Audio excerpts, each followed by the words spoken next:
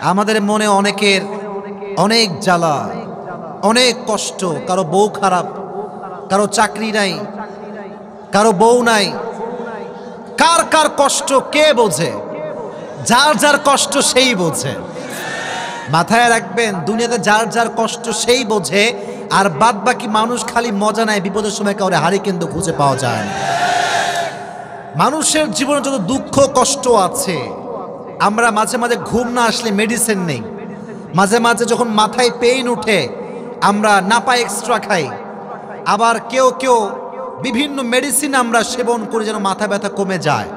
কোরআন বলছে, তোমার জীবনে যদি খুবই দুঃখ কষ্ট হয়, কোরআনটা বুকে জড়াও, কোরআনটা পড়ো, বোঝো, তোমার যত কষ্ট আছে, নিমিষেই সমস্ত কষ্ট হালকা হয়ে যাবে। সুহান আল্লাহ তো নাই জোরে সোরে কষ্ট দূর করার জন্য অনেকে কানে হেডফোন দিয়ে হিন্দি গান শোনে। অনেকে মদ খায়। অনেকে গাঁজা খায়। আর সে বোঝে না, গান যত শুনবেন দুঃখের সময়ে কথাটা একটু বুঝেন তার শুরু করছি তো, আগে বুঝাই। ভূমিকায় আছি। কষ্টের সময়, কষ্টের গান শুনলে ছেকার কষ্ট আরও বাড়ে, এটা কমে না। আর দুঃখের সময় কোরআন পড়লে, ট্রান্সলেশন পড়লে মোটিভেশনাল ওয়াজ শুনলে, আজহারির ওয়াজ শুনলে, যারে যার ভালো লাগে তার ওয়াজ শুনলে, কষ্টের লেভেলটা যদি একশো ভাগ হয়, এটা নামতে নামতে নামতে এটা দশ ভাগে চলে আসে।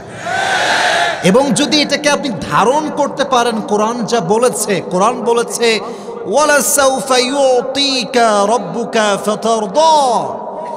if you have lost your everything in your life যদি তুমি সব কিছু হারায় ফেলো never lose hope and don't be upset don't be frustrated হতাশ হও না।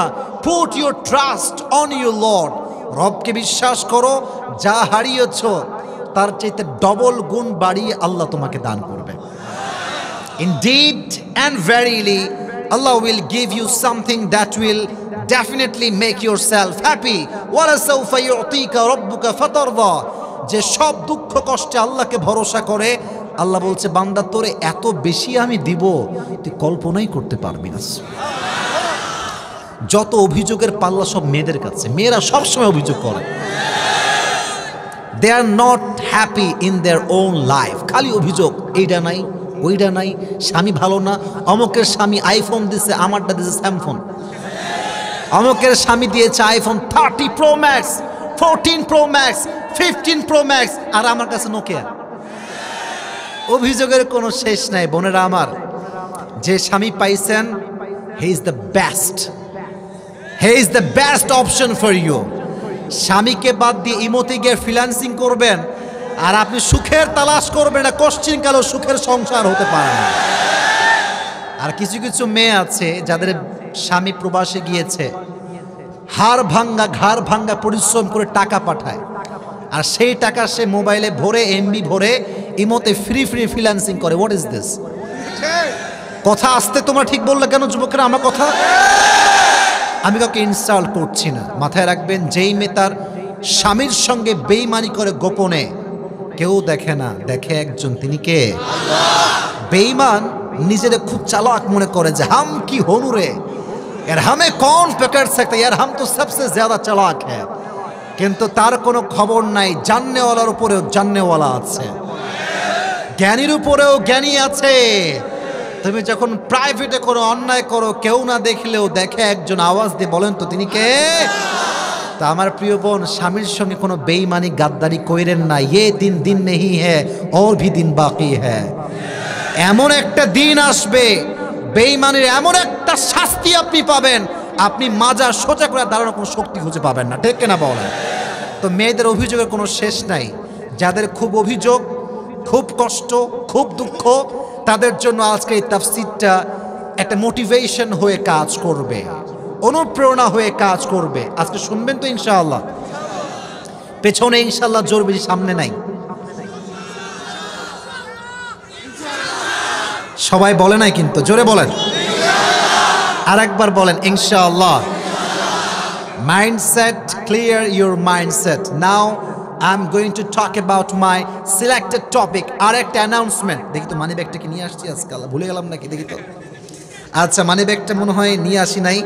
আমার ড্রাইভার সাহেবকে বলব কাইন্ডলি মেহরবানি করে আলিম কই? আব্দুল আলিম, একটু মানি ব্যাগটা নিয়ে আসার ব্যবস্থা করেন, জয় ভাইকে কল দিয়ে। কারণ আমি ওয়াজ করব আর পুরস্কার দিব না, এটা কিন্তু হইতে পারে না। আমার ওয়াজ শুনতে হবে যুবকেরা। তোমরা মনে করো আসিফ হুজুর খালি ওয়াজ করবে? ঠিক ঠিক সুভান আল্লাহ ওয়াজ হয়ে গেল। না না না না না। ওয়াজ শেষ হবে, প্রশ্ন করব, কি শুনলেন বলেন? যে বলতে পারবে, তার জন্য আমার পক্ষ থেকে জান, আজকে এক হাজার টাকা পুরস্কার থাকবে। রাজি আছেন ইনশাআল্লাহ? তাহলে এবার একটু তাকবীর দিয়ে মাইন্ডসেট ক্লিয়ার করেন। লিল্লাহি তাকবীর। আল কোরআনের আলো সাউন্ড যে কমে গেল। আবার একটু দি আল কোরআনের আলো। আল হাদিসের আলো। আলেম ওলামা যেখানে। Today our central theme or subject matter is সবর, ধৈর্য। একটু ভাবেন তো মেডিকেলের যেই রোগী ভর্তি থাকে, এর ইংরেজিতে কি কয়? পেশেন্ট আবার ধৈর্যশীল যে, তারেও কয় পেশেন্ট মানে কি জানেন? ধৈর্যশীল যে হতে পারবে না, সে সবচাইতে বড় রোগী। আর যে ধৈর্যশীল হতে পারে, তার মতো সুখী মানুষ আর সুস্থ মানুষ আল্লাহর জমিন আর দ্বিতীয়টা কেউ হইতে পারে না। সুবহানাল্লাহ পড়েন সবর।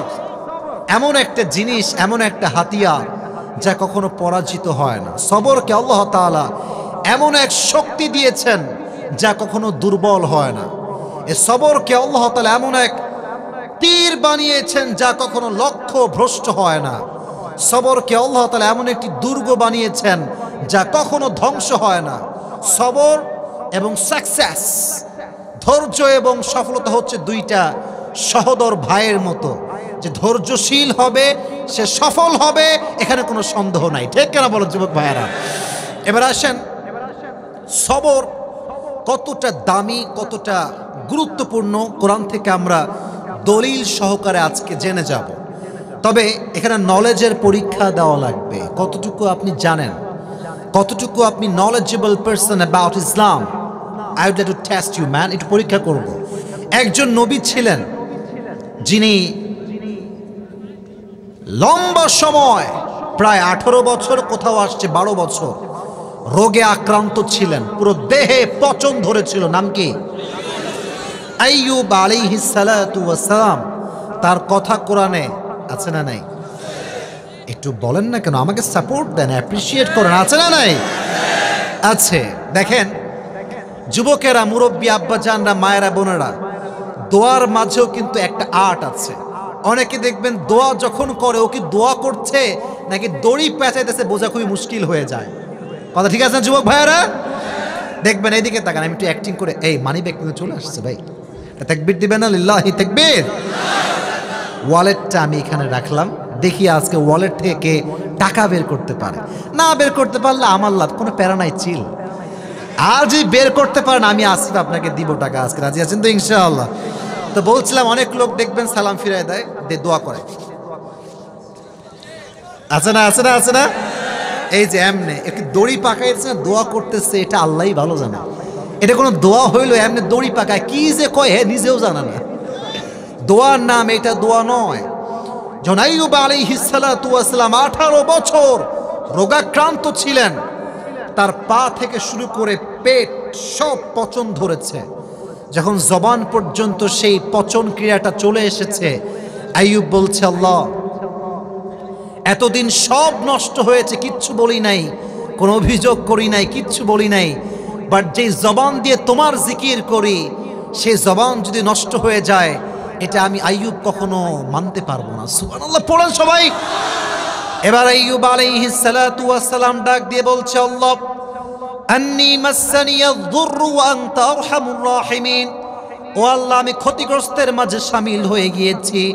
আর সবচাইতে দয়াময়, মায়াময় একজন আওয়াজ দিয়ে বলেন, তো তিনি কে? দোয়ার সিস্টেম দেখেন। কি সুন্দর সিস্টেম, আল্লাহ। আমি বিপদে পড়ছি। আর তুমি না দয়াময়, তুমি না মায়াময়। তার মানে হচ্ছে, আল্লাহ, তুমি আমাকে বিপদে দেখবা আর বিপদ থেকে উদ্ধার করবা না। এটা তো কখনো হইতে পারে না। আল্লাহ পড়েন সবাই।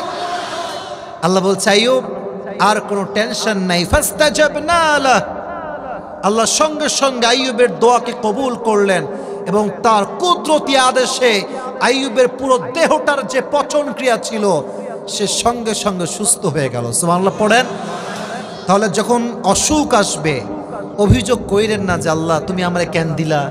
কিছু লোক আছে কয় যে, আল্লাহ কি কাউরে পায় না? খালি আমারই কি পায়? বলেন বলেন বলেন বলেন। দুনিয়া থেকে আমি আছি। সব কষ্ট আমার উপরে কেন? কেন? কেন? কেন বলা যাবে না? যা হয় আল্লাহর পক্ষ থেকে হয়। আর এটা আমি মুসলিম হিসেবে বিশ্বাস করি, আল্লাহ যা নিয়ে যাবে, তার চাইতে অধিক গুণ বাড়ায় আল্লাহ আমাকে দান করবে। ঠিক আছে যুবক ভাইরা, কথাটা? সবের you must have to be patient in every kind of situation যত যা ঘটে যাক, জবানে একটা মুচকি হাসি রাখবেন। দেখবেন আপনার মতো সুখী আল্লাহর আকাশের নিচে আর কেউ হইতে পারবে না। সুমান আল্লাহ পড়লেন না? আচ্ছা কুড়িগ্রামের ভাইয়েরা, আমাদের দেশের নাম কি? গর্বের সঙ্গে বলেন, দেশের নামটা কি? আচ্ছা জানেন, আমি জানি বাট মজলিসটাকে অ্যাক্টিভ রাখার জন্য আই এম অ্যাস্কিং ইউ বলেন তো, এই পুরো দেশের রাজধানীর নামটা কি? আপনার বললেন না যে? ঢাকা। আমাদের দেশের রাজধানী। আমি বোঝাচ্ছি সবরটা কতটা জরুরি। আপনারা ঢাকার রাজধানীর গুলশানের নাম শুনেছেন? হ্যাঁ, বলেন শুনছেন না নাম? আচ্ছা বনানীর নাম শুনেছেন সবাই? আরও আছে ধানমন্ডি নাম শুনছেন সবাই?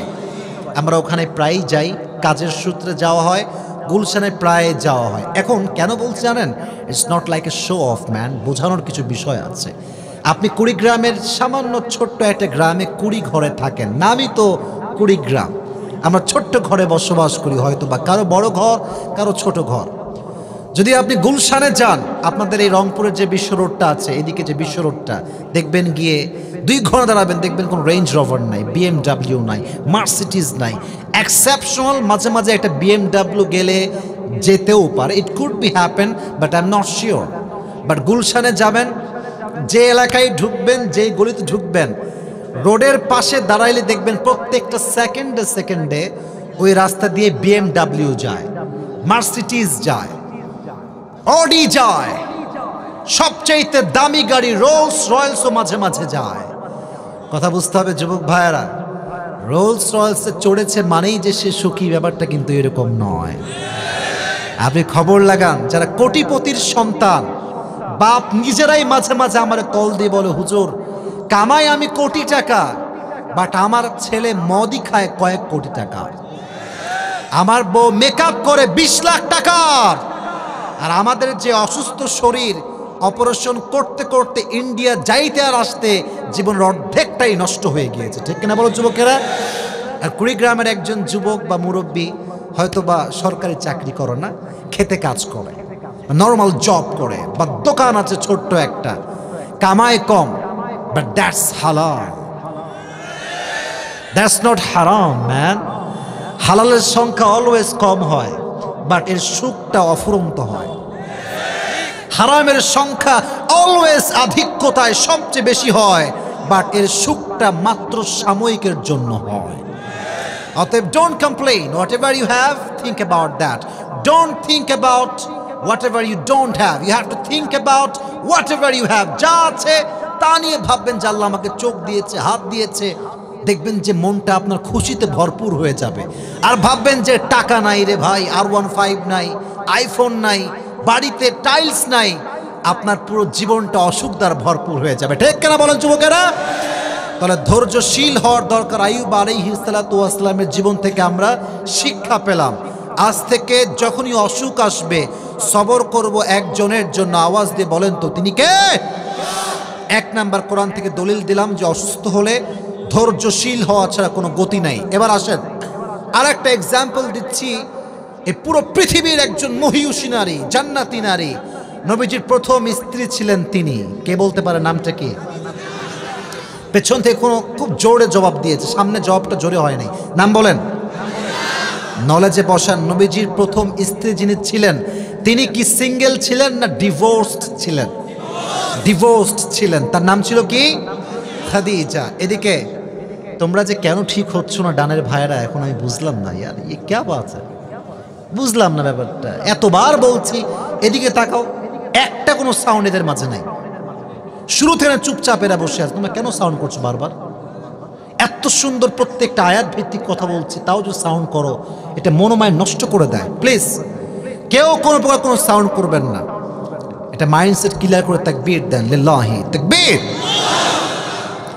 নবীজির প্রথম স্ত্রীর নাম ছিল খাদিজা। উনি যখন প্রথম বিয়ে করেন, প্রথম ঘরে একটি সন্তান হয়, তার নাম হচ্ছে হিন্দ। বিয়ের পরে সন্তান হওয়ার পরে যখন স্বামী মারা যায়, একমাত্র মেয়েই বোঝে যে স্বামী হারাইলে কি পরিমাণ কষ্ট এবং যন্ত্রণা সহ্য করতে হয়? ঠিক কিনা বলো? প্রথম স্বামী মারা যায়। খাদিজা শি ওয়াজ পেশেন্ট আল্লাহ, তুমি নিয়েছ, আমি খুশি। যাও, ধৈর্যশীল। Second time she got married again আবার বিয়ে করলেন, ধৈর্যশীল হয়ে। সেকেন্ড হাজব্যান্ড আবার হি হ্যাজ গন চলে গেল আল্লাহর কাছে। খাদিজা অবাক, কিরে? সমস্যা কি আমার না আমার স্বামী? যারেই বিয়ে করি সেই চলে যায় আমাকে দেখে কবরের দুনিয়াতে। মনটা প্রচণ্ড খারাপ। এইভাবে বিয়ে করতে করতে যখন স্বামী মারা যায় লাস্ট টাইম সে তিনি নিয়ত করলেন তাকররা খাদিজা আন্নাহা লান তাতাজাওয়াজা মাররাতান উখরা। তিনি নিয়ত করলেন যে তিনি she will never ever get married again this was the last one এটাই শেষ বিয়ে। আর জীবনে বিয়ে করব না। তবে হ্যাঁ যখন আল্লাহ আমাকে উত্তম জীবন সঙ্গী দান করবে তখনই আমি আল্লাহর উপরে ভরসা করে আবারও বিয়ে করব। সুবহানাল্লাহ, পড়লেন না? ভেঙে গেছেন, আবার দাঁড়িয়েছেন। ভেঙে গেছেন, আবার দাঁড়িয়েছেন। যারা ব্যবসা করো যুবকেরা, বা ব্যবসায়ী হওয়ার চিন্তা করো, তোমার দশ লাখ টাকা মাইর যাবে। বিশ লাখ টাকা মার যাবে বাট মাথায় রাখবা, ভেঙে গেলে হবে না। আবার দাঁড়িয়ে যাও, আল্লাহ তোমাকে আবার সুঠাম দেহের অধিকারী বানাই দিবে। ঠিক কেনা বল? তোমার মাজাকে আল্লাহ শক্তি করে দিবে, শক- শক্তিশালী করে দিবে। তো তিনি দীর্ঘ লম্বা সময় একা একা জীবন পার করলেন। কোনো লাইফ পার্টনার তার জীবনে ছিল না। একা জীবন, বড় কষ্টের জীবন। বাট তার বাবা ছিল মক্কা এবং মদিনায় সবচেয়ে বিগেস্ট বিজনেস ম্যাগনেট তার মতো ধনী ব্যবসায়ী দ্বিতীয়টা আর কেউ ছিল না। পড়েন সবাই। কিন্তু বাবাও স্বামীর পরে মারা গেল। বাবাও নাই, স্বামীও নাই, কেউ নাই। খাদিজা একা। একা একজন মেয়ে। মায়েরা please concentrate pay your attention একটু মনোযোগ দেন। খাদিজার মতো একজন নারী পুরো পৃথিবীতে একা। লক্ষ কোটি টাকার বিজনেস বাবার ছিল। তিনি সমস্ত কিছুকে বাদ দিয়ে নিজে একা সংগ্রাম শুরু করলেন। নিজেই কোটি টাকার বিজনেস সামলাতে শুরু করলেন। সুবাংলা তো আসতে কেন আপনাদের সবার? লাখ টাকার বিজনেস না কোটি টাকার বিজনেস কোটি টাকার বিজনেস কিন্তু কোনো অহংকার ছিল না। আর আজকালকার মেয়েরা ফুড ভ্লগিং করে, কয়েক টাকা কামায়, আর লাইভে এসে তার স্বামীকে গালি দেয়। বুঝলে বুঝপাতা, না বুঝলে? বুঝে শুনে কথা বলবেন। যেই মেয়ে সামান্য কয়েক টাকা কামাই করে স্বামীকে তার ব্যক্তিত্বে আঘাত দিয়ে কথা বলে সে খাদিজার চরিত্র চরিত্রবান এখনও হতে পারে নাই। আর যেই মেয়েগুলো অনলাইনে বিজনেস করেন to be honest with you যুবক ভাইয়েরা বলছি, যেই মেয়ে নিজের দেহকে প্রদর্শন করে ফেসবুক থেকে টাকা কামাই করে, তার টাকাটা কখনো হালাল টাকা হইতে পারে না। যেখানে তোমার দেহ প্রদর্শনটাই হচ্ছে তোমার earn money source how come it halal man এটা কেমনে হালাল হইতে পারে? আমার দেহ দেখে আমি ইনকাম করব, আমার সম্মান বিক্রি করে আমি টাকা উপার্জন করব, এটা কখনো প্রকৃতপক্ষের ব্যক্তিত্ববোধ নারীর কোনো কাজ হতে পারে না, ঠিক কিনা বলেন? এটা খুব সমস্যার বিষয়। তো কোটি টাকার বিজনেস সামলেছেন, কখনো কোনো অহংকার দেখান না। এবার আসেন, ধৈর্যের পরিচয় কি ছিল, ধৈর্যের ফলাফল কি ছিল খাদিজার জীবনে? একটু মনোযোগ মনোযোগ। একদিন তিনি ঘুমিয়ে আছেন, রাতের আধারে তাহাজ্জুদের নামাজের সময় স্বপ্নে দেখছেন পুরো রাত আকাশটা অন্ধকার। চতুর্পাশ আমাবস্যার রাত, কোথাও কোনো আলো নেই, অন্ধকার। স্বপ্নে দেখছেন খাদিজা চাঁদের দিকে তাকিয়েছেন, চাঁদ। যখনই চাঁদের দিকে তাকিয়েছেন, চাঁদটা খাদিজার বুকের দিকে আকাশ থেকে নামতে শুরু করেছে। আর চাঁদ যখন আকাশ থেকে নেমে এসেছে, চাঁদের আলোতে পুরো ভুবনটাই আলোকিত হয়ে গিয়েছে। খাদিজা রাদিয়াল্লাহু তাআলা আনহা স্বপ্ন দেখে ঠাস করে লাভ দিয়ে উঠছেন। কি দেখলাম স্বপ্ন এইটা? এটার ব্যাখ্যা কি হতে পারে? সঙ্গে সঙ্গে স্বপ্ন লিখে তার চাচার কাছে গেলেন। তার চাচার কাছে গিয়ে বললেন, হে চাচা! তিনি একজন ধর্মীয় গবেষক ছিলেন এবং স্বপ্নের ব্যাখ্যাও তিনি দিতে পারতেন। ওয়ারাকা বিন নাফেল তার নাম ছিল। চাচা চান, আমি স্বপ্নে দেখেছি যে পূর্ণিমার রাত্রির মতো রাত, চাঁদ যখন নেমে এসেছে, পুরো অন্ধকার জগৎটা চাঁদের আলোতে আলোকিত হয়ে গিয়েছে সুবহানাল্লাহ, আগেই পড়েন সবাই। চাচা, মা চাবিরু হাদাল হুল। What is the explanation of this dream চাচা, এই স্বপ্নের ব্যাখ্যা কি আমাকে এখনই বলেন। এবার চাচা যান খুললেন তাওরাত, খুললেন ইনজিল, ব্যাখ্যা কি হতে পারে? ব্যাখ্যা পড়ে উনি বললেন, Khadija good news this is good news for you কি গুড নিউজ চাচা যান বলছে যে, শেষ নবী যিনি হবে, তিনি তোমার স্বামী হিসেবে কবুল হয়ে গিয়েছে। ওয়েট অ্যান্ড সি থামো, অপেক্ষা করো। এটা শুনেছে যখন যে, শেষ নবী আমার জামাই হবে। একটা মেয়ে যদি জানতে পারে যে, আমার জামাই এইরকম হবে, ওই মেয়ের মাঝে বিয়ের একটা নেশা উঠে যাবে। আসতে ঠিক বললেন কেন আপনার? জোরে বলেন কথা ঠিক আছে যুবক ভাইয়েরা? প্রত্যেকটা মেয়ে একটা চরিত্রবান যুবককে এক্সপেক্ট করে যে আমার স্বামী যে হবে, সে অনেস্ট হবে, চরিত্রবান হবে, টাকা পয়সা কম হলেও চলবে। স্বামী যদি কেয়ারিং হয় লাভিং হয়, একটা মেয়ে তার পুরো জীবনটা তার স্বামীর জন্য উৎসর্গ করে দেয়। ঠিক কেন বলো, যুবক ভাইয়েরা? তো ভালো মেয়ে এটাকে ডিজার্ভ করে এক্সপেক্ট করে। তো এটা শোনার পর থেকে খালিদের কোনো ঘুম নাই। কবে আসবে সেই স্বপ্নের যুবক? কবে হবে আমার বিয়ে? আমি আবার বিয়ের প্রীতে বসতে চাই। সুবহানাল্লাহ, পড়েন সবাই। এবার দিনের পরে দিন যায়, নবীর সঙ্গে কোনো সাক্ষাৎ হয় না। কবে আসবে সেই স্বপ্নের যুবক, সেই স্বপ্নের পুরুষ? তিনি স্বপ্ন দেখতে শুরু করলেন। হঠাৎ করে একদিন বাসার ভেতর তিনি বসে আছেন। মোহাম্মদুর রসুল্লাহ সাল্লাহ আলহি ওয়াসাল্লাম সেই যুগের সবচাইতে বিশ্বস্ত যুবক ছিলেন আল্লামিন আহমদ বড় বিশ্বস্ত। সে কোন বন্ধু বলো, বড় বিশ্বস্ত। ঠিক না বলেন যুবক ভাইয়ারা? কার কাছে মন খুলে দেয়া যায়, কার কাছে প্রাণ খুলে বলা যায়, হওয়া যায় বেশি আশ্বস্ত। ঠিক না বলেন যুবকেরা? The prophet was the most trusted the personality ever in the world তার মতো বিশ্বস্ত যুবক আল্লামিন আল্লাহর জমিনের দ্বিতীয়টা আর কেউ হইতে পারে না। সুবহানাল্লাহ পড়ে সবাই। তো বিজনেসের পারপাসে ওনার সঙ্গে দেখা। এবার কথাগুলো শুনলে হবে না, আমার চেহারার দিকে দেখতে হবে। আমার চেহারা ফেস ফেশিয়াল এক্সপ্রেশন একটু ফলো করে খাদিজা ঘরে বসে আছে। হঠাৎ করে মোহাম্মদুর রসুল্লাহ সাল্লাহ আলিহি ওয়াসাল্লাম তার বাসায় as a guest as a business partner entry নিয়েছে। তার বাসায় মেহমান হয়ে আসছে।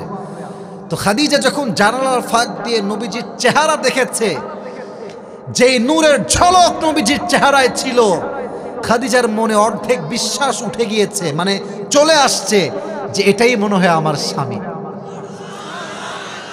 এত সুন্দর চেহারা নবীজির। But she was not hundred percent confirm that she is the he is the last messenger উনি কনফার্ম ছিলেন না যে ইনি শেষ নবী। তো তিনি তাওরাত খুললেন। ইঞ্জিল খুললেন। তিনি পড়তে শুরু করলেন যে how will be the look of last messenger Muhammad সাল্লাল্লাহু আলাইহি ওয়াসাল্লাম? শেষ নবীর দেহ কেমন হবে? তার ফিগার কেমন হবে? তার বডি স্ট্রাকচার কেমন হবে? চেহারা রং কেমন হবে? ওখানে লেখা লেখা আছে, নবীর গায়ের চেহারার রং হবে সাদা নয়, কালো নয়, শ্যামবর্ণ নয়, নবীর চেহারা হবে মালিহ, লাবণ্যময় সুন্দর। সুবাহ শুনি নাই তো? জোরে সোরে সুবাহ উনি পড়লেন যে নবীজির হাইট হাইট মানে কি? লম্বায় কতটুকু হচ্ছে? উঁচুতে কতটুকু? তিনি পড়লেন, নবীজির হাইট হবে কেমন?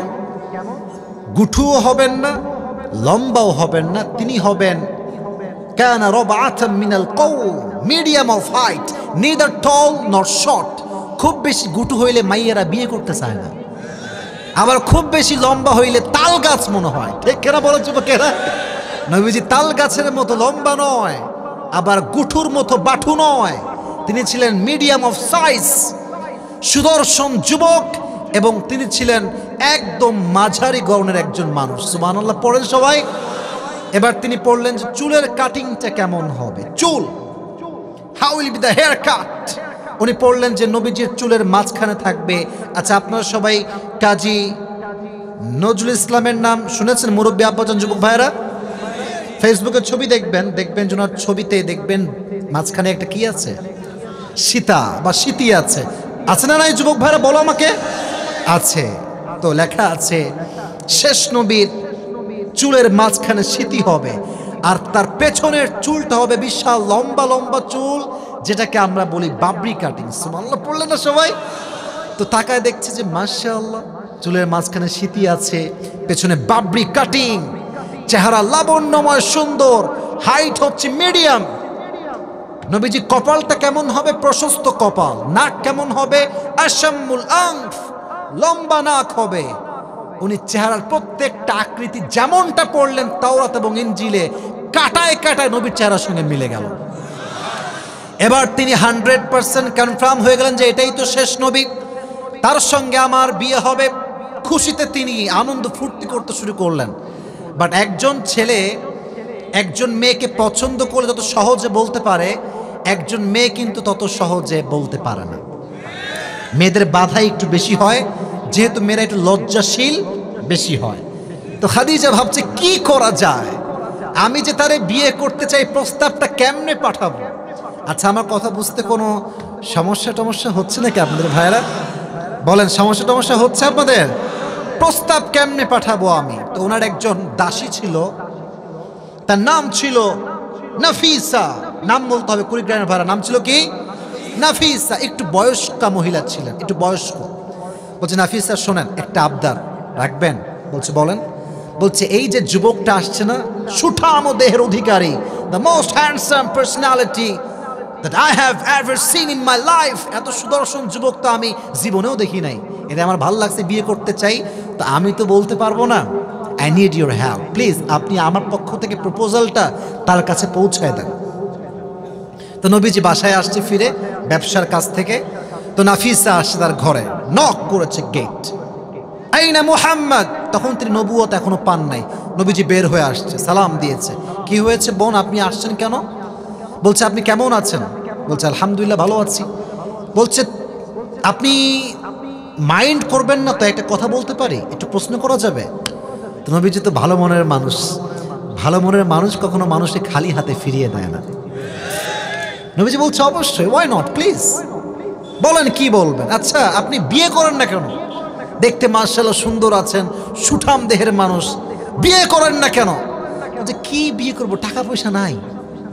সত্য কথা, এটা হাদিস থেকে বলতেছে। নবীজি বলছে, আমার কাছে সেই সামর্থ্য নাই যে আমি কাউকে বিয়ে করে ঘরে নিয়ে এসে তাকে ভরণ পোষণ দিব।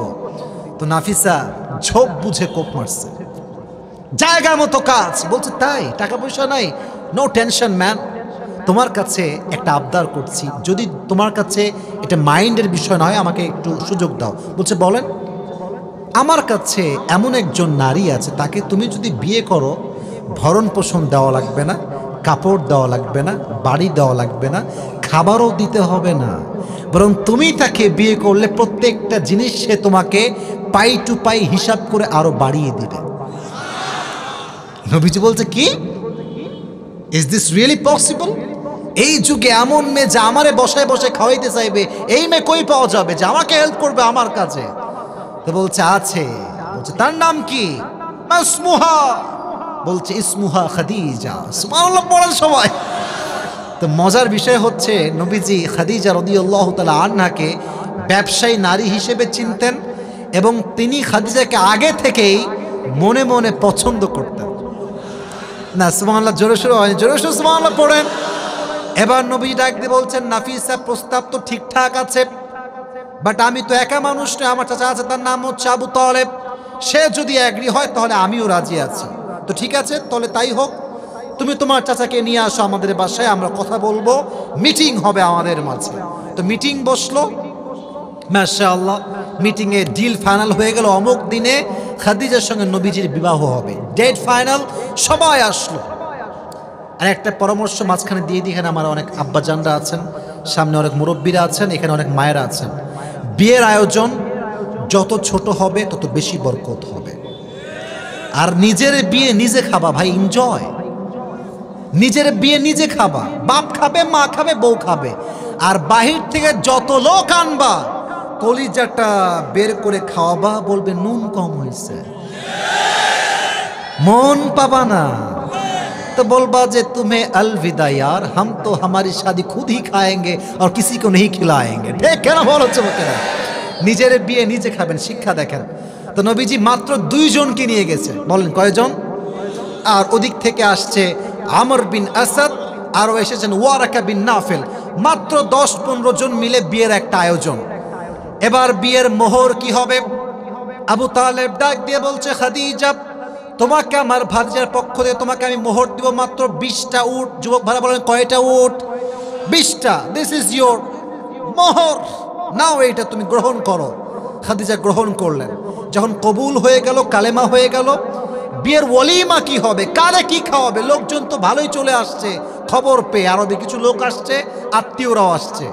খাদিজার মন এটা এত ছোট নয়, বিশাল বড় মন বলছে বিশটা উট যে আমাকে মোহর দিয়েছে, এই বিশটা উট মেহমানদের মেহমানদারি করবার জন্য জবাই করে ফেলো। জবাই করা হলো, খাওয়া দাওয়া হলো, সব শেষ। এবার আসেন আমার মূল মেসেজ আপনাকে ঢুকাই দেই। যখন মূল মেসেজ দিচ্ছি, মনোযোগটা ঠিকঠাক রাখতে হবে। বাসর রাত। নবীজি আসছেন, খাদিজা আগেই বসে আছেন। খাটের উপরে। নবীজি আসছেন, খাদিজা বসে আছেন। নবীজিকে খাদিজা সালাম দিলেন। প্রথমে কুশল বিনিময় হলো, কথাবার্তা হলো। তো নবীজি খাদিজা বলছে, আপনি জানেন যে আপনাকে আমি কিসের বিনিময়ে পেয়েছি? নবীজি বললেন, কিসের বিনিময়ে আপনি আমাকে পেয়েছেন? উনি বললেন, আমি সবরের বিনিময়ে আপনাকে আমি পেয়েছি। ধৈর্যের বিনিময়ে পেয়েছি। মানে? কেন? কেমনে? বলছে, আমার স্বামী সব মারা গেছে। তা আমি নিয়ত করেছিলাম, যতক্ষণ পর্যন্ত আপনার মতো কাউকে না পাবো, আমি ধৈর্যশীল হব। আমি কোনো জেনা করব না, আমি কোনো রিলেশনশিপ করব না, আমি কোনো হারামে যাব না। আমার ধৈর্যের বিনিময়ে আল্লাহ তাআলা শেষ নবীকে আমার স্বামী হিসেবে কবুল করে ফেলেছেন। Sabr sabr. You must have to be patient until you get the perfect life partner. যতক্ষণ তুমি তোমার আসল জীবন সঙ্গিনী খুঁজে না পাচ্ছ সিঙ্গেল থাকবা। আর যদি কেউ বলে, তুই সিঙ্গেল কেন রে ভাই? বলবা, পাইনি, তাই সিঙ্গেল তোর যে সমস্যা হয়, তুই আইনে দে, আমি এখনই বিয়ে করব। এই কথাটা বুঝবেন। এটা ঠিক বে ঠিক বললে কিন্তু ঠিক হয় না। যেই বলে বিয়ে করো না কেন রে? কি সমস্যা? কত ভিতরে সমস্যা নাকি? লাইট ভিতরের সমস্যা, তো কি, তো কে বলছে কথা? ওকে ডাকবেন। তো কে বলছে? বলবে যে, এমনি বললাম ভাই, মজা করছি। বলছে, এরপর থেকে মজা না সোজা বউ নিয়ে আসবি, আমার মন মতো তোর সামনে আমি কবুল করে বিয়ে করব। কথা ঠিক আছে যুবক ভাইরা তুমি বেটা বউ খুঁজে দিবা না, আর বেশে তুমি ঝাড়ি মারবা আমার উপরে কানের উপর লাগা ঠিক করে দেওয়া লাগবে। ঠিক কেন বলো যুবক ভাইরা? কিছু লোক আছে, দেখবেন যে, কিরে, তুই বুড়া হয়ে গেলি তোর কবে বিয়ে হবে রে? তোর তো বিয়ে হবে না রে ভাই, অমুকের বিয়ে হয়ে গেল, তোর বান্ধবীর দুইটা বাচ্চা হয়ে গেল, তোর বন্ধু বিয়ে করে সরকারি চাকরি হয়ে গেল, আর তোর কবে হবে? তোর কান ধরে বলবা, তুই নিয়ে আসলেই আমার হবে। ও বলবে, ভাই, আমি পারব না, আমার দ্বারা হবে না। তোর যদি না হয়, চুপচাপ থাকবি, বেশি বাড়াবাড়ি করে তোর ভেঙে ফেলবে একেবারে। ঠিক কেনা বলো চলো মেজাজটা গরম করে দেয় কিছু লোক আর কি, মেজাজটা গরম করে দেয় আল্লাহ দেখে হেদায়াত দান করুন সকলে, পড়া আমি তাহলে জীবন সঙ্গিনী পাওয়ার ক্ষেত্রে সবরের দরকারটা যুবক ভাইয়েরা আছে না নাই? দুইটা এক্সাম্পল দিলাম। এক হচ্ছে আইয়ুব আলাইহিসালাম আর একজনের নাম কি? পুরস্কার পাওয়ার জন্য মাথায় রাখতে হবে। নামটা কি? খাদিজা, এবার আর একটা প্রশ্ন। ব্রেইন অ্যাক্টিভ রাখেন। এটা তো ছিল ডিভোর্সড একজন মেয়ে যাকে নবীজি ভালোবেসে সম্মান করে বিয়ে করেছেন। আরেকজন স্ত্রী নবীজির ছিল, নবীজির মূল স্ত্রীর সংখ্যা ছিল হচ্ছে মোট এগারোটা। কয়জন? এগারো জন। তার মাঝে একজন মেয়ে শুধুমাত্র কুমারী ছিলেন ডিভোর্স ছিলেন না। বলেন, আপনারাই বলেন নাম থেকে এই বামের লোকরা কথা কয় না কেন ভাই? হোয়াট ইজ দিস জোরে বলেন, নামটা কি? আয়েশা রাদিয়াল্লাহু তাআলা আনহা। নবীজি তাকে বিয়ে করলেন। নবীজির বউ যেহেতু অনেক বেশি ছিল, তো যখন বাইরে কোথাও ঘুরতে নিয়ে যেতেন, লটারি সিস্টেম, বোঝেন আপনারা সবাই? লটারি লটারি তুলনা মাঝে মাঝে লটারি, তো নবীজি লটারি করতেন। এদিকে তাকান, একটু এক্সাম্পল দিয়ে বোঝাই, যদিও বা চায়ের এখানে চা আছে প্রত্যেকটা কাগজে কাগজে নবীজি নিজের স্ত্রীদের নাম লিখতেন। লিখে একটা, দুইটা, তিনটা, চারটা, সব বউদের নাম একটা ছোট্ট বাটিতে রাখতেন। প্রত্যেক সপ্তাহে, মাসে মাসে কাগজ তুলতেন, যার নাম উঠত, তাকে নিয়ে নবীজি আউটিংয়ে যেতেন, কক্সবাজার যেতেন, সমুদ্র সৈকতে যেতেন, নবীজাদেরকে নিয়ে সাজেক ভ্যালি যেতেন। মানে এটা মানে ওইটা বুঝেন না মানে ঘুরতে যেতেন। সুমাল্লাহ পড়লেন সবাই? ঘোরানোর কথা বোঝাচ্ছি। ওটা আপনার সাজেক ভ্যালি আবার বুঝেন না, কারণ নবীর যুগে সাজেক ভ্যালি এটা ছিল না। কক্সবাজার এটা ছিল না। তো নবীজি ঘুরতে নিয়ে যেতেন। তো একবার তিনি লটারি করলেন। প্রথমেই যার নাম উঠল তিনি হচ্ছেন আয়েশা। সুমাল্লাহ পড়েন সবাই? তিনি ঘুরতে বের হলেন অনেক দূরে। আপনার সবাই পালকির নাম শুনছেন কুড়িগ্রামের ভাইরা পালকিতে ছড়ে আগে কি নিয়ে আসা হতো? কথা কয় না কেন, কি নিয়ে আসা হতো? মার্শাল্লাহ আমার শ্রোতা পাওয়া গেছে অডিয়েন্স মার্শাল্লাহ কি নিয়ে আসা হতো? বোধ আগের যুগে পালকিতে চড়ে ঘুরতে নিয়ে যাওয়া হতো। এটাকে আরবিতে বলা হয় হাউদাজ। তো নবীজি আয়েশাকে হাউদাজে উঠালেন চলো আমরা ঘুরে আসি। ঘোরাফেরা হয়ে গেল। যখন ফিরে আসবেন সফর থেকে, তো আমরা যেন আয়েশা একটু চিকন ছিলেন। চিকন মানুষ রিক্সায় উঠলে রিক্সা যখন প্যাডেল মারেও বোঝে না যে পেছনে কেউ আসে কিনা। চিকন মানুষের শক্তি অত বেশি হয় না। খুব হালকা ভারী হয়, বেশি এটা ভারী হয় না। তো যখন আসবেন ফিরে, তখন তার প্রকৃতির চাপ দিয়েছে। উনি বললেন, এই থামো, আমাকে একটু সময় দাও। তিনি উঠ থেকে নামবেন, হাওদাস থেকে। যখন প্রকৃতির ডাকে সারা দেওয়ার জন্য গেলেন, ওই সাহাবি যে উঠ ধরেছিল, ও বোঝে নাই যে আয়েশা উঠেছে কি উঠে নাই। ও ভাবছে উঠে গেছে, ও নিয়ে চলে গেছে। এদিকে আয়েশা যখন প্রকৃতির ডাকে সারা দিয়ে আসছে দেখছে কিরে উঠ নাই, সাহাবি নাই, কেউ নাই। পুরো মরুভূমির একটা এলাকা, কেউ নাই। উনি ভাবলেন যে আমি এখানে অপেক্ষা করি, আমার স্বামী আমার জন্য একজন লোক পাঠিয়ে দিবে। সুমাল্লাহ পড়লেন না সবাই? এবার আম্মা জান আয়েশা রাদিয়াল্লাহু তাআলা আন্নার চাদর বিছিয়ে শুয়ে পড়লেন। ছোট্ট মানুষ, চিকন মানুষ চাদর বিছিয়ে শুয়ে পড়লেন। ওদিকে নবীজি আব্দুল্লাহ ইবনে মুআত্তাল রাদিয়াল্লাহু তাআলা আনহুকে বলেন যাও তুমি নিয়ে আসো আয়েশাকে। যখন তিনি আসলেন, আয়েশা আসলেন উনি ঘুম থেকে উঠে চাদর মুড়ি দিয়ে পর্দার সঙ্গে হাউদাজে বসলেন। আব্দুল্লাহ ইবনে মুআত্তাল দূর থেকে তাকে গন্তব্যস্থলে পৌঁছে দিলেন। কিন্তু দুঃখের বিষয় হচ্ছে, মুনাফেকরা এটা দেখল যে আয়েশাকে আবদুল্লাহ ইবনে মুআত্তাল একাই নিয়ে আসছে সফর থেকে। মুনাফিকরা সুযোগ পেয়ে গেল। মুনাফিকদের সর্দার আবদুল্লাহ ইবনে সালুল প্রবাগান্ডা ছড়িয়ে দিল অপবাদ যে আয়েশা অমক সাহাবির সঙ্গে জেনা করে তারপরে ফিরে আসছে। ছি ছি, এত আস্তে নাউজুবিল্লাহ পূর্ণ আপনার সবাই। জোরে সোরে বলেন, নাউজুবিল্লাহ। নবীর স্ত্রী কখনো চরিত্রহীন নারী হতে পারে, যুবক ভাইয়েরা আমার? চরিত্রে একদম সোজা আঘাত, আয়েশা। বাট দুঃখের বিষয়, আয়েশা কিচ্ছু জানে না যে কি হয়েছে আমার সাথে। আয়েশা রদিয়াল্লাহু তাআলা আন্না খোলা মনে ঘুরছেন শহরের ভেতরে। যখন তিনি বাবার কাছে গেলেন, তার বাবার নাম আবু বকর রদিয়াল্লাহু তাআলা আনহু। বাসায় যাওয়ার পরে খবর আসলো, ও আয়েশা, তোমার নামে অনেক বড় একটা মিথ্যা অবাদ দেওয়া হয়েছে। তুমি নাকি একজন সাহাবীর সঙ্গে জেনা করেছ? এটা শুনে আয়েশা আকাশ থেকে পড়ছে, আরে, জেনার অপবাদ আমার উপর আমি তো এরকম কিচ্ছু করি নাই। আব্বা যান আমি কিচ্ছু করি নাই। ইন দ্য মিন টাইম নবীজি আসছে। এসে বলছে, আয়েশা, যদি তুমি সত্যি জেনা করে থাকো, আল্লাহর কাছে মাফ চাও তওবা করলে ক্ষমা করে একজন আওয়াজ দিয়ে বলেন তো, তিনি কে? এ ওই কই যায়? এই সাদা গেঞ্জি বসো বসো এদিকে আমার দিকে তাকান, আমার দিকে তাকান। এক দুইজনের ওয়াশরুম লাগতেই পারে, কারণ অলরেডি সাড়ে বারোটা বাজতে গিয়েছে। বাট আমাদের তো ওয়াদা আছে, আমরা ওয়াজ শেষও করব, পুরস্কার নিয়ে দোয়া করে দেন we will go back to home ইনশা নাকি আপনারা বলছেন যে এখন শেষ করতে হবে, কোনটা? ওয়াজ চলবে তো ইনশাআল্লাহ আমি কিন্তু হাদিস শেষ করতে পারি না এবার দেখেন, নবীজি এবার আয়েশার কাছে বলছে, আয়েশা, তওবা করো আল্লাহর কাছে। নবীজিকে আয়েশা বলছে, নবী, আপনি আমাকে বিশ্বাস করেন না যে আমি কাজ করি নাই? বলছে, না না, বিশ্বাস করি, কোনো সমস্যা এবার তুমি তওবা করে ফেলো। বলেন আমি তওবা করব না, কারণ আমি যে গুনাহ করিনি, আমি তার তবা কেমন করে করব। একটু অপেক্ষা করে আমি সবরের পরিচয় দিলাম। ধৈর্যশীল হলেন তিনি। আল্লাহ বলেন, আল্লাহ, আমি তোমার উপরে সবর ধারণ করলাম। তুমি ফয়সালার মালিক আল্লাহ। আমি কোনো জুলুম করি নাই, কোনো অন্যায় করি নাই। তিনি সবের হয়ে গেলেন। আল্লাহ তার চরিত্রকে প্রমাণ করবার জন্য নিষ্কুলুষ। প্রমাণ করবার জন্য নিজেই আরশে আজিম থেকে আয়াত নাজিল করে দিলেন।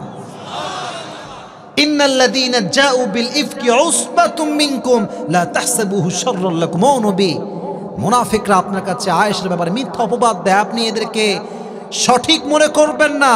মাথায় রাখবেন, মোনাফেক সব সময় মুসলমানদের চরিত্র নষ্ট করবার পায় তারা করে। ঠিক কেনা বলেন যুবক ভাইয়ারা? আমি আয়েশার চরিত্র রক্ষা করব। আয়েশা এমন কোনো কাজ করে নাই। তো আয়েশাকে যখন মিথ্যা অবাদ দেওয়া হয়েছে, তিনি কি এমনি উল্টায় পড়ছেন না ধৈর্য ধারণ করেছেন? ধৈর্য। ধৈর্যের ফলাফল কি হয়েছে?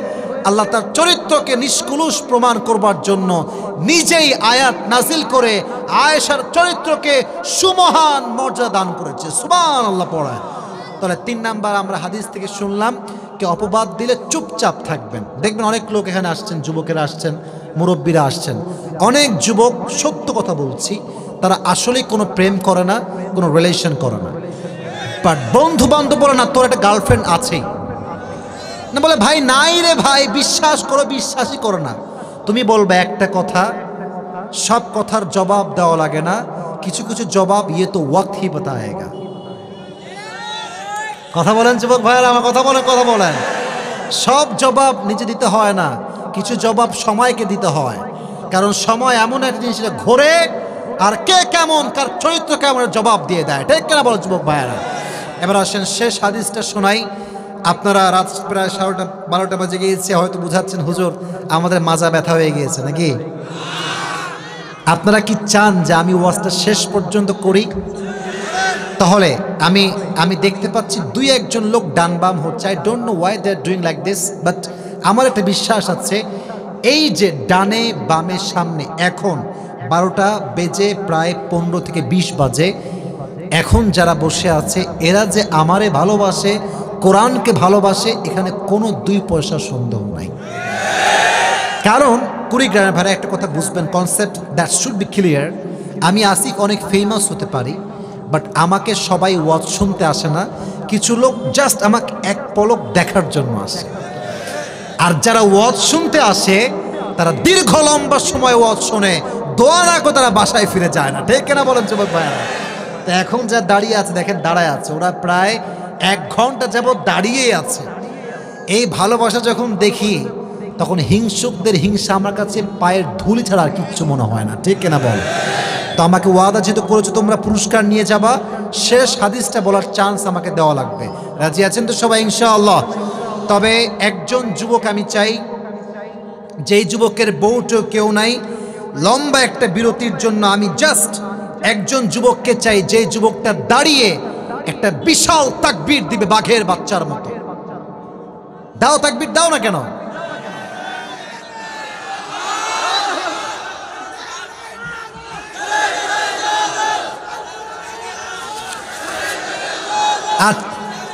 থামেন, বসেন বসেন, সবাই বসেন। তুমি তুমি তাকবীর দাও।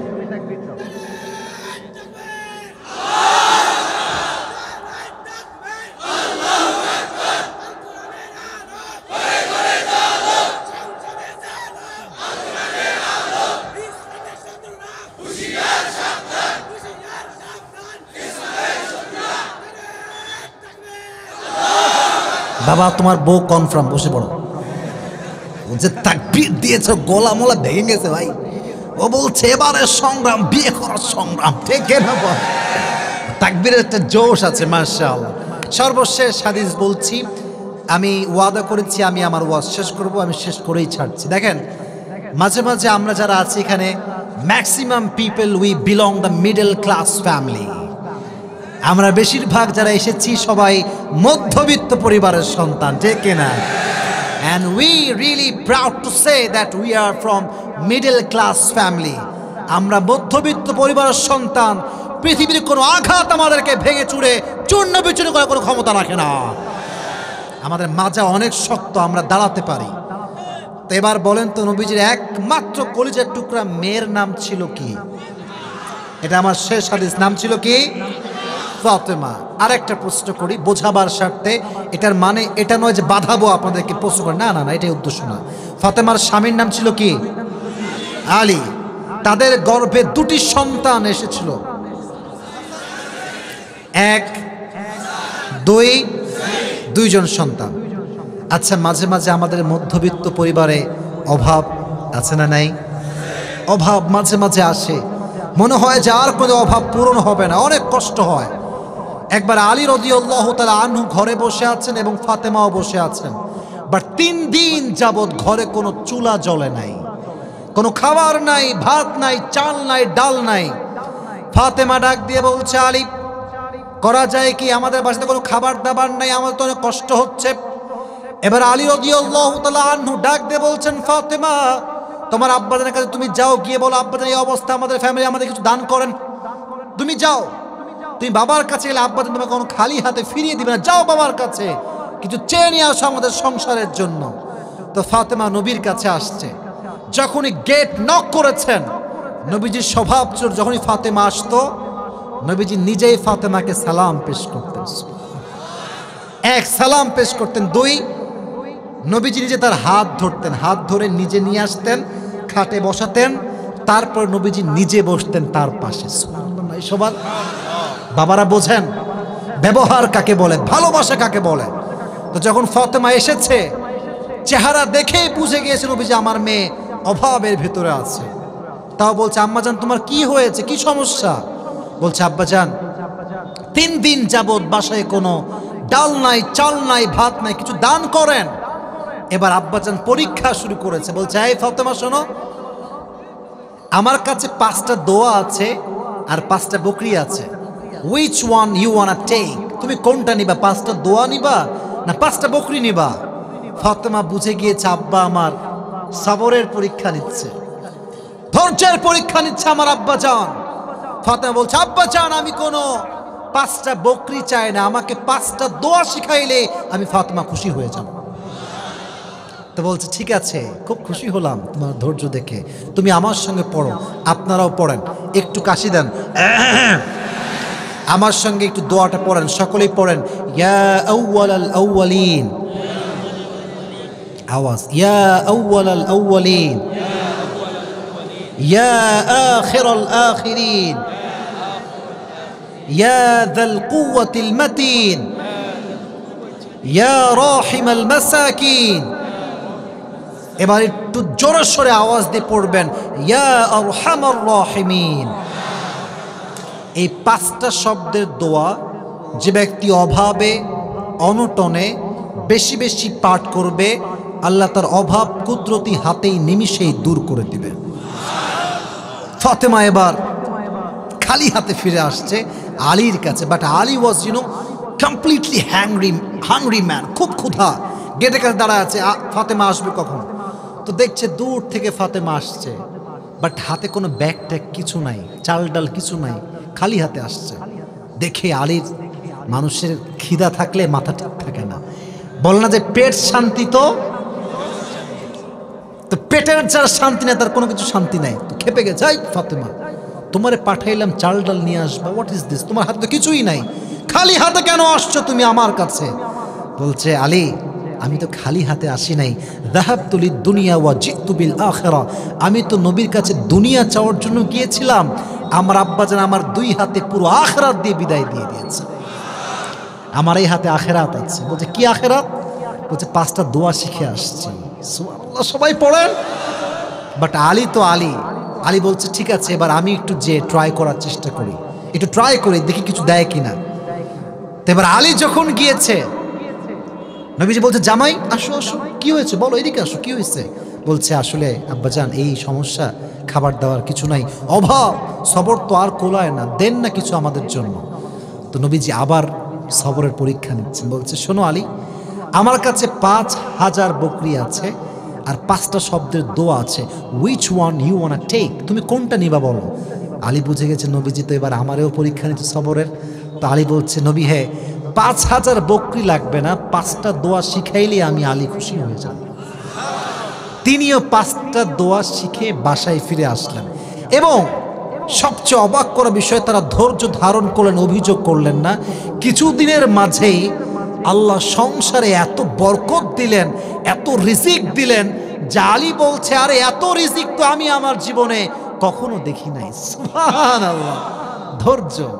অতএব যখনই অভাব আসবে জন বি আপসেট মধ্যবিত্ত পরিবারের সন্তানদের জন্য একটা গুড নিউজ হাদিসে আসছে, গরিবরা বড়লোকের চাইতে পাঁচশো বছর আগে জান্নাতে প্রবেশ করবে।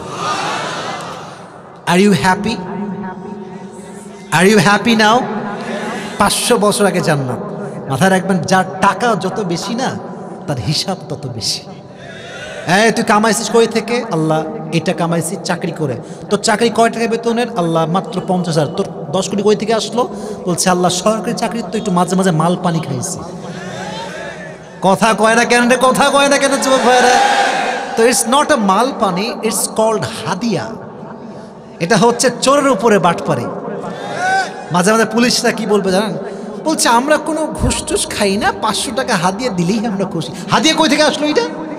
ঘুষটার নামই হচ্ছে হাদিয়া। ঠিক কেন বলো চোখেরা তো মাথায় রাখবেন, ধৈর্যশীল হতে হবে। বেইমানি করা যাবে না। যত অভাব তত আল্লাহ খুশি। ওয়ালা নাবলুওয়ান্নাকুম বিশাইইন মিনাল খাউফি ওয়াল জু'i ওয়া নাকসিম মিনাল আমওয়ালি ওয়াল আনফুসি ওয়া বাশশিরুস সাবিরিন। আল্লাহ বলছে, আমি সব দিক থেকে পরীক্ষা করব। টাকা দিয়ে, মাল দিয়ে, সম্পদ দিয়ে, তোমাকে ক্ষুধা দিয়ে, ক্ষতি দিয়ে, জান দিয়ে, মাল দিয়ে, সব দিক থেকে আমি আল্লাহ পরীক্ষা করব। যে তুমি ধৈর্যশীল হও অবশ্যির সবিরিন। তবে তুমি জান্নাতের সুসংবাদ নিয়ে বাসায় ফিরে যাও। তাহলে প্রত্যেকটা সিচুয়েশনে একটা গুণ, এই তো ওয়াজ শেষের দিকে চলে আসছি, আমাকে এবার বাঘের বাচ্চার মতো জবাব দিতে হবে। একটা গুণ, নামটা কি? সবর। বলেন, সবাই বলেন, নামটা কি? সবর মানে ধৈর্য, সবর মানে কি? ধৈর্য। এবার আসেন, পুরো ওয়াজটা আমি রিপিট করছি just I will share with you the summary of the lecture সারাংশ। নট এভরিথিং যা যা বলছি তা তা নয়, সারাংশ বলছি। এবার আমাকে জবাব দেন। আজকে পুরো ওয়াজের মূল বিষয়বস্তুর নাম কি? পেছনে আমার খুব ভালো অডিয়েন্স আছে। বাবা আল্লাহ আপনারা বলেন, এটার নাম কি? সবর। সবর মানে ধৈর্য। আমি অনেকগুলো হাদিস বলেছি, কোরআন থেকে দলিল দিয়েছি। আমি জাস্ট প্রেসাইজলি কন্টিনিউয়াস প্রসেসের ধাপ ধাপে বলছি। প্রথমে বলেছিলাম একজন নবীর কথা, যাকে আল্লাহ তালা রোগ দিয়েছেন, বালাই দিয়েছেন। নবীর নামটা ছিল কি? আইয়ুব আলী হিসালাম তো ওনার যখন রোগ হয়েছিল, উনি কি অভিযোগ করেছেন না সবর করেছেন? সবর করে সর্বশেষ যখন তার রোগটা কোন পর্যন্ত আসছে? জিহবা পর্যন্ত আসছে, তখন তিনি আল্লাহকে বলেছেন, আল্লাহ, এটা বলো না যে আল্লাহ, তুমি কি লোক পাও না? খালি আমি কি আছি আর কেউ নাই? না না না না না।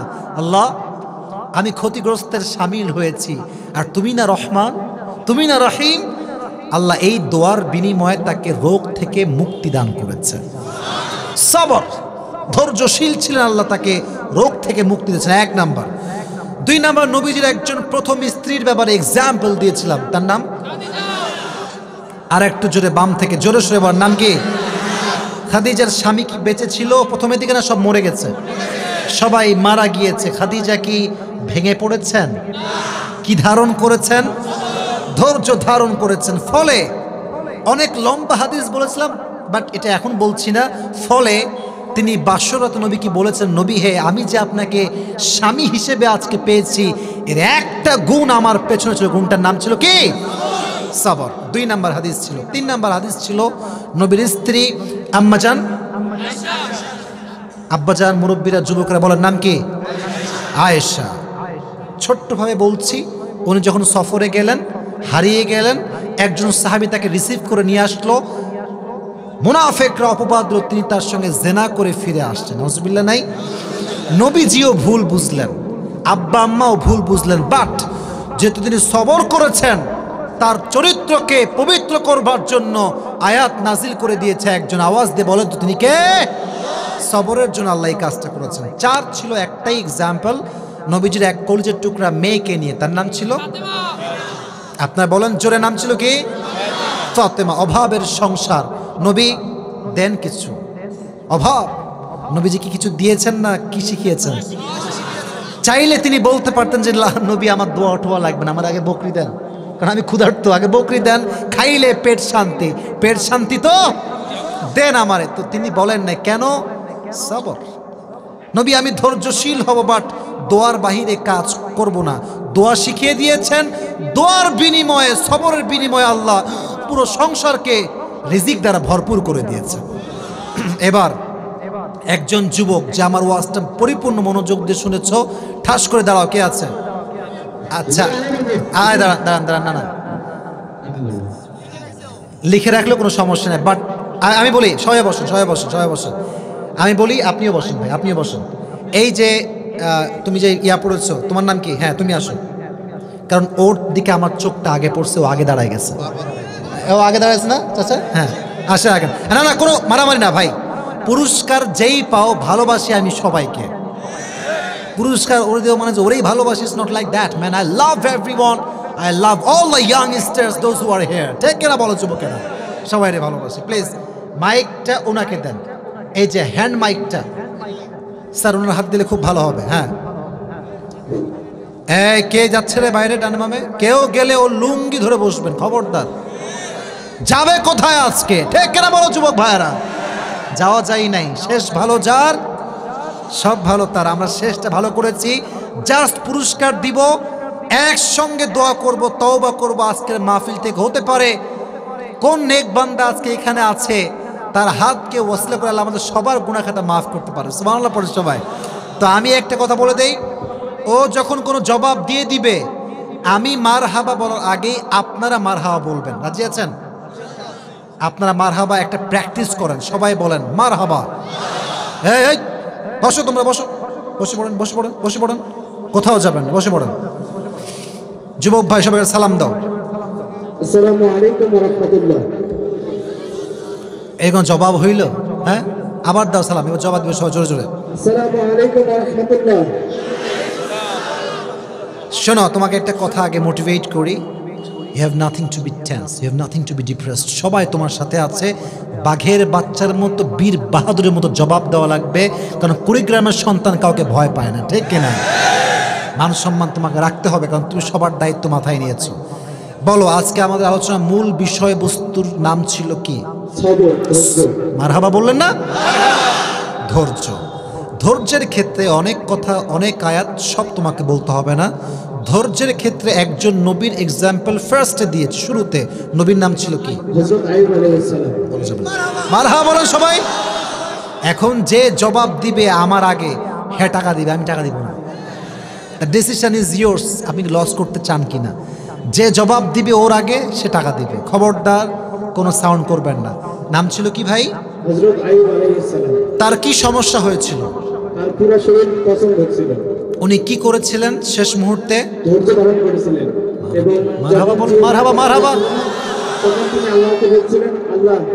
আমি এই তোমার তোমাকে স্মরণ করি। তুমি এই জিহ্বাটাকে পছন্দ তখন আল্লাহ তালা তাকে সুস্থ করেছে তো অলরেডি এক এক সাবজেক্টে পাস করছে আর কি। তুমি ম্যাথে পাস মনে করো ম্যাথে পাস করছ এবার তুমি ইংরেজিতে আসো। মানে ফর এক্সাম্পল বলছি এবার তুমি বলো দুই নাম্বারে একজন নবীজির স্ত্রীকে নিয়ে কথা বলেছিলাম সবরের এক্সাম্পল দেওয়ার জন্য। ওইটা কি ছিল?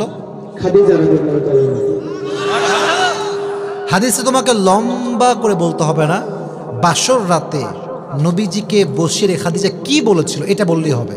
তিনি নবীজিকে বলেছেন আমি আপনাকে পেয়েছি শুধু ধৈর্য ধারণ করার জন্য। এটা কিন্তু বুঝে শুনে সে বলছে কারণ আমি কিন্তু একদম কাট টু কাট প্রশ্ন করছি। বুঝে শুনে না বলে সে জবাব দিতে পারবে না। দুই নাম্বার গেল। তিন নাম্বার আমি একটা বিষয় বলেছিলাম নবীজির একজন স্ত্রীকে নিয়ে যিনি সিঙ্গেল ছিলেন তার নাম ছিল কি? আয়েশা। আয়েশার সঙ্গে কি হয়েছিল এবং তিনি কি পরিচয় দিয়েছেন বলো। যখন রাসূল সাল্লাল্লাহু আলাইহি ওয়াসাল্লাম তাকে সফরে গেছিলেন তিনি সফরে হারিয়েছেন তখন তিনি আর কি চাদর মুড়িয়ে শুয়েছিলেন। তখন রাসূল সাল্লাল্লাহু একজন সাহাবীকে পাঠিয়েছেন ওনাকে নেওয়ার জন্য, তখন বাতিল শক্তিরা তাকে বিভ্রান্তে ফেলেছে। আর রাসূল আলাইহি এবং তাদের পিতামাতার প্রতি এটা দুর্নাম ছড়িয়েছেন যে তিনি জিনা করেছেন। তখন হজরত আয়েশা ধৈর্য ধারণ করেছিলেন, এর ফলে আল্লাহ তালা তার পক্ষ থেকে নিজেই জবাব দিয়েছেন। মার বললেন সবাই? মাথায় মনে করেন যে আমি শুনতেছি আমি সব শুনতেছি কথা। তিনটা হাদিস গেল, ভাই। তুমি তো ভাই পেরেই গেছো আমার তো লস অনিবার্য হয়ে গিয়েছে। তবুও তোমাকে জিজ্ঞেস করি সর্বশেষ হাদিসটা কাকে নিয়েছিল এবং তিনি কার মেয়েছিলেন ক্যা কর রে ইয়ার পে তুম বলেন সবাই। হ্যাঁ এবার বলেন যে ফাতেমার সংসারে কি হয়েছিল এবং তিনি কি করেছিলেন? ফাতেমার সংসারে অভাব হয়েছিল। তখন হযরত আলী তিনি রাসূল সাল্লাল্লাহু আলাইহি ওয়াসাল্লামের কাছে যান। এবং রাসূল আলাইহি বলেন আমার পরিবারে এই অভাব চলতেছে। তখন রাসূল আলাইহি বলেছিল আমার কাছে পাঁচটা বকরি আছে আর পাঁচটা দোয়া আছে তুমি কোনটা নিবা? তখন ফাতেমা বলছিল আমি দোয়া নেব। বলেন সবাই! এই দোয়া এবং সবরের বিনিময়ে কি ফলাফল তারা পেয়েছিল শেষ কথা। তখন তাদের অভাব সব দূর হয়েছিল মারহা বলেন সবাই! আসো যুবক তুমি আসো কোন পাশে জায়গা? ওরা আসতেন let him come here on the stage আসো আসো। মাশাআল্লাহ পরিচয় দিবে বাপ। দাবা দাবেন দাবেন আসো আগো আগো আগো। পরিচয় কেন? উত্তর দিয়েছে এটা তো সবচেয়ে বড় পরিচয় ঠিক কেন বলো যুবক ভাইয়ারা? জবাব দিয়েছে এর উপরে কোনো পরিচয় হতে পারে না। ওর সাহস আছে হিম্মত আপনার পারতেন আমি জানতাম। বাট একজনকে চান্স দেওয়াই লাগবে। এই হলুদ গেঞ্জি কয়ে যাবে বসো। দোয়া করে যাবা খবরদার। আসেন ভাই মাশা আল্লাহ ওয়ালাইকুম আসসালাম। তোমার নাম কি? আবু নাইম মোহাম্মদ সেলিম। তোমার কি বউটাও আছে? বউ নাই আচ্ছা তাহলে তোমার জন্য এক হাজার টাকা পুরস্কার থাকলো মারা বলবেন না সবাই पैसा चाहे कम हो या ज्यादा लेकिन मोहब्बत तो खालिस है কথা ঠিক আছে যুবক ভাইয়েরা আমার কথাটা টাকা দিয়ে ভালোবাসে কম্পেয়ার করা যায় না ভালোবাসা ভালোবাসা টাকা টাকা এটা জাস্ট পুরস্কার দিলাম এই পুরস্কার দিয়ে উল্টাপাল্টা এমবি ভরে উল্টাপাল্টা করব, ঠিক আছে? এটা দিয়ে ইসলামিক বই কিনবা, ইলম অর্জন করবা, জ্ঞান দিয়ে নিজের জীবনকে আলোকিত করবা। রাজি আছো ইনশাআল্লাহ? আল্লাহকে তৌফিক দান করুন সকলে পড়ো, আমিন। পেছনে বসে পড়ো, পেছনে বসে পড়ো, পেছনে বসে পড়ো, মাশাআল্লাহ। তাকবীর দেন, লিল্লাহি, তাকবীর। এখন যুবক ভাইয়ারা, আমি আগে দোয়া করে নিই, আল্লাহ যা যা বলেছি, সবাইকে সেই অনুযায়ী আমল করার তৌফিক দান করুন সকলেই মন খুলে পড়া, আমিন।